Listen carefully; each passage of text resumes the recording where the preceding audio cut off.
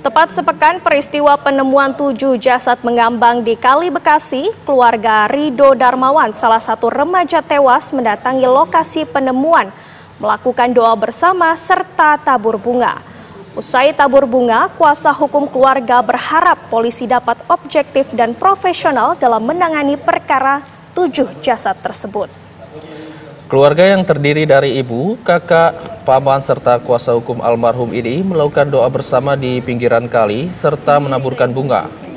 Bertepat, bertepatan dengan sepekan penemuan tujuh jenazah dan salah satunya Rido, paman korban menyebut kegiatan tabur bunga tersebut merupakan simbol perlawanan terhadap kegiatan tim perintis presisi dalam melakukan patroli hingga berujung penemuan tujuh jenazah atau tujuh jasad di Kali Bekasi.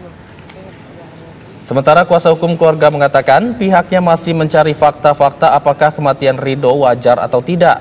Pihaknya telah meminta keterangan teman-teman Rido yang saat itu berhasil selamat. Polisi diminta objektif dan profesional menangani perkara tersebut. Pihaknya akan menempuh jalur hukum jika ditemukan kejanggalan. Ia meyakini Rido tidak hendak melakukan tawuran karena hanya izin ke orang tua untuk camping ke wilayah Bogor.